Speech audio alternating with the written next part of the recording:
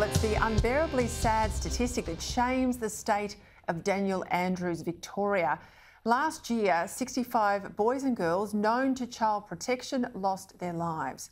We know it thanks to leaked documents that many of these children were left in dangerous homes even after multiple warnings to child protection. Now, it is beyond unacceptable.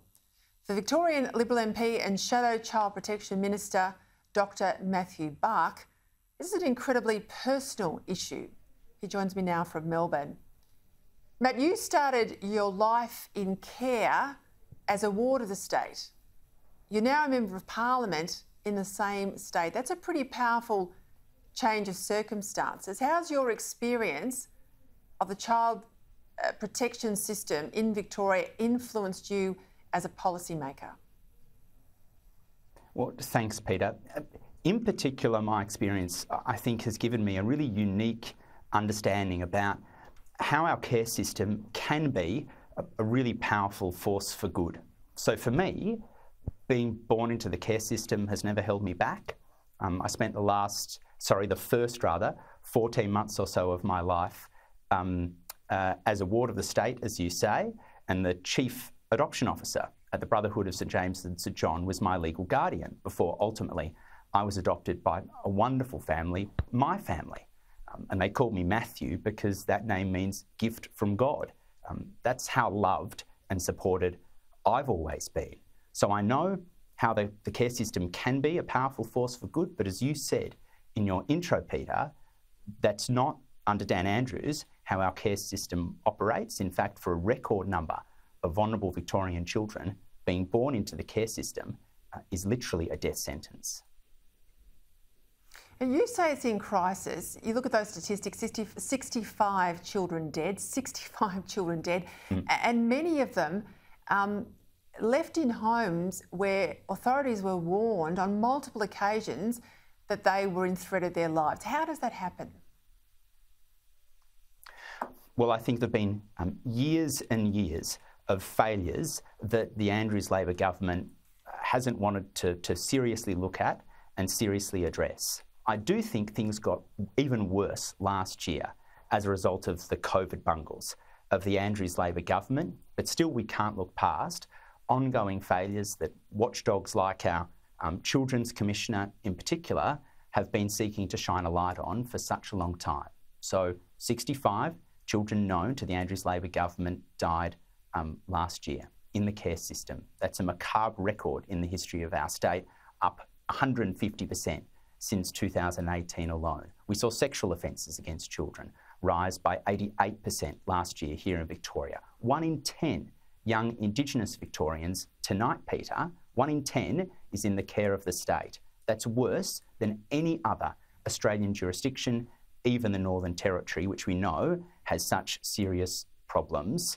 Um, and so you're right, we most certainly are in a dire child protection crisis. And coming back to your question, what troubles me so deeply mm. about that is that clearly, even today, even after all of these revelations, Dan has no plan to fix this crisis that he and his government has created.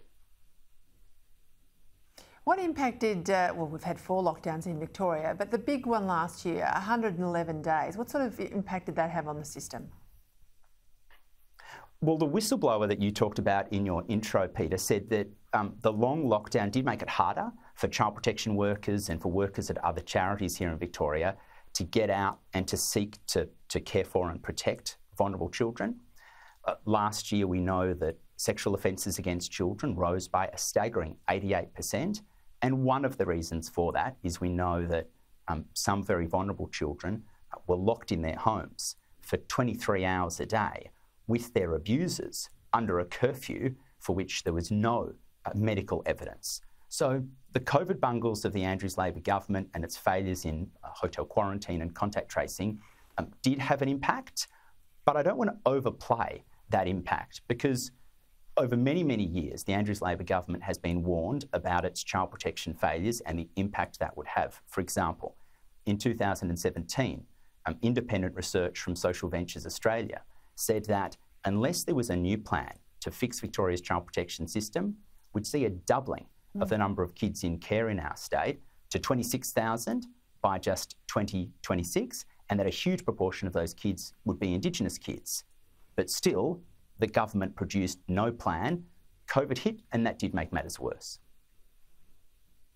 When you talked about your personal story before, you know, you make it clear that, that adoption was your salvation, that you, you, you had a, a family that raised you, that loved you, uh, that's given you, you know, all the advantages in life and you've, you've absolutely taken them and run with them.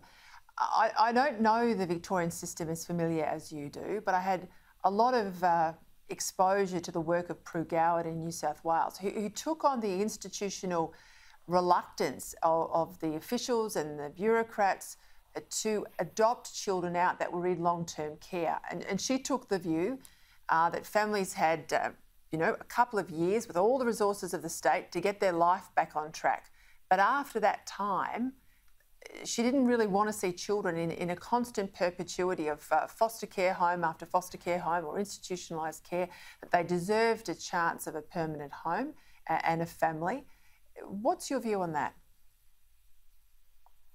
I certainly think that far more needs to be done to provide our most vulnerable kids with, with greater permanency.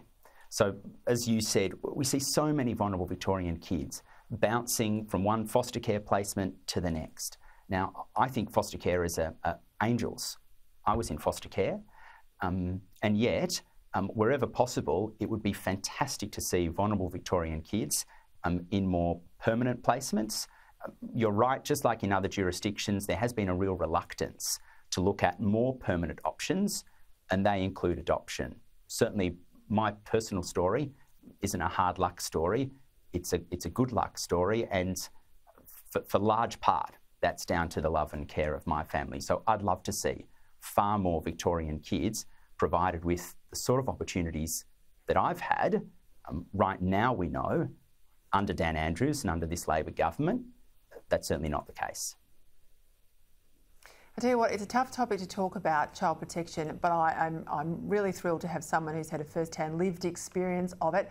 He's now in the Parliament and on the front bench for the opposition, prepared to to speak up for these children. Dr. Matthew Bach, thank you very much for your time. Thanks, Peta.